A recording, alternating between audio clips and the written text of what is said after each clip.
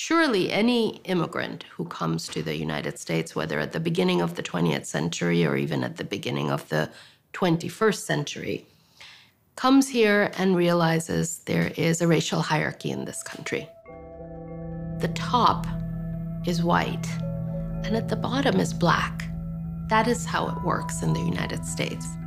And the new immigrant, like any human being, wants to make sure that they're as far from the bottom of the pecking order as possible. In our quest for whiteness, often we're trying to say, we're not black, we're not black, we're not black. That's what we're trying to tell the host country. I don't think Asians were always given the badge of honorary whiteness, certainly not during uh, the Chinese Exclusion Act. Even with families, jobs, and dreams, Asians cannot become Americans.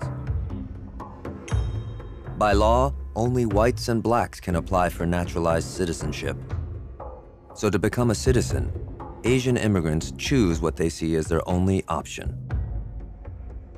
For South Asians who wanted to become citizens, for the most part, they made the claim to being white.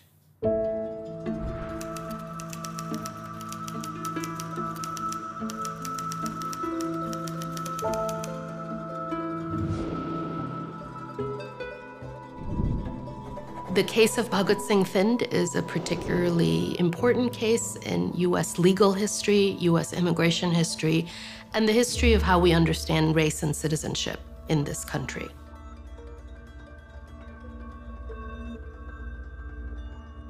Bhagat Singh Thind was an Indian from the region of India called Punjab. He was Sikh. He came to the United States as a young man and joined the US Army during the last year of World War I. Basically, he goes to court to prove that he is white. And this case goes back and forth, back and forth, all the way to the Supreme Court.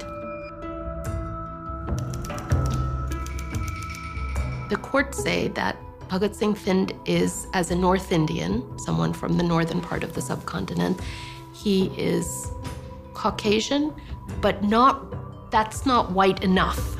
So he's not white. So you have here in 1923 a really interesting example of the Supreme Court acknowledging that race is a social construct, right? What the common man on the street thinks is white, that is white, and nobody would consider you to be white. If before Thind there were other Indians who could be counted as white, when the court's verdict comes out that Thind is not white, it has ramifications. Their citizenship were taken away. They lost land because land ownership was tied to this. Following the Bhagat Singh Thind case,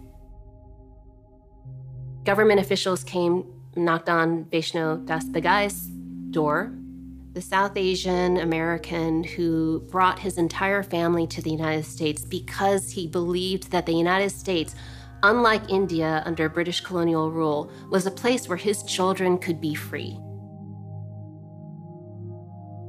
Because of the Supreme Court decision, Vaishno Das Bagai is now denaturalized and his U.S. citizenship revoked.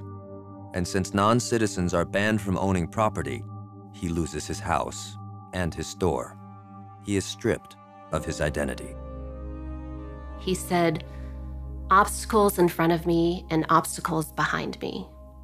He could not find a way forward. And he committed suicide.